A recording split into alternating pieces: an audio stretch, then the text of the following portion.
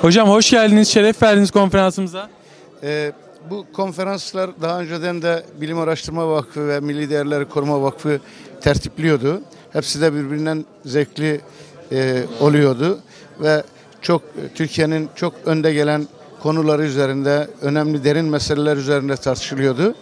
İnşallah bu tartışmalar, bu bilgi alışverişi devam eder ve Türkiye'nin geleceği buradaki elit yüksek seviyedeki bilgili, tahsilli insanların eliyle yeniden yoğrulur. Ben onu arzu ediyorum.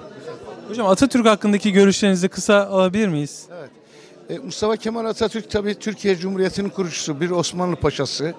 O günkü e, dünya koşulları içerisinde yani 1908 darbesinden sonra imparatorluk Balkanları kaybetmiş, Balkan Savaşı'nı kaybetmiş. E, bütün cephelerde bütün toprakları işgal altına e, girmiş ve bu şartlar altında e, uçurumun kenarındaki bir ülkeyi toparlayıp teşkilatlandırıp e, bugünlere getirilmesinin yollarını e, sağlıyor.